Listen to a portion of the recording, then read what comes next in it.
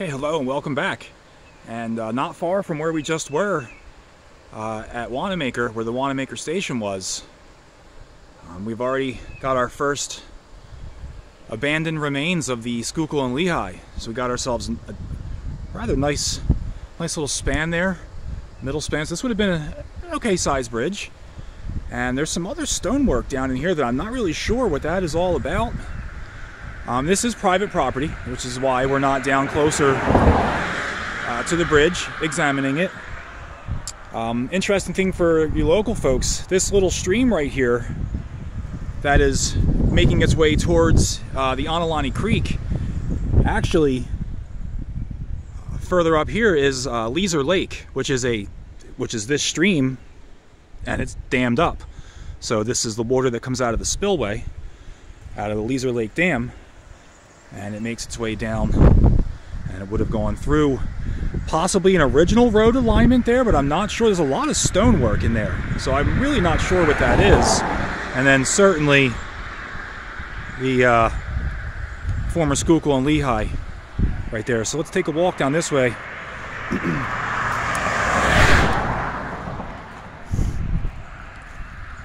So there's the bridge. So this all would have been a would have been uh, graded uh, fill through here.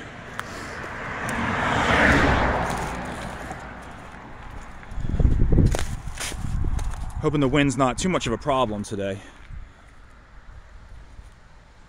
So yeah, this would have been all elevated right here, and the reason I know that is because that is the terminus of the WK&S right there, the northern terminus.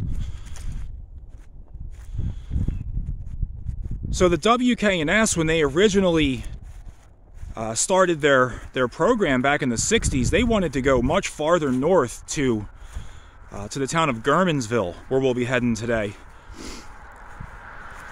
But the landowners that had been given the right of way back, essentially, uh, they didn't they didn't want the the railroad going through their property anymore, and a lot of the right of way was uh, turned back into farmland.